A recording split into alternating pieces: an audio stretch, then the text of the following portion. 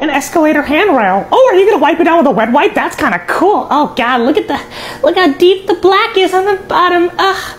I'm Micheal Theodore Mouse, and I'm a bit of a germaphobe, so I hope this isn't this isn't anything too bad. It's not going to be that bad. I'm sure they clean this like every. What the fuck?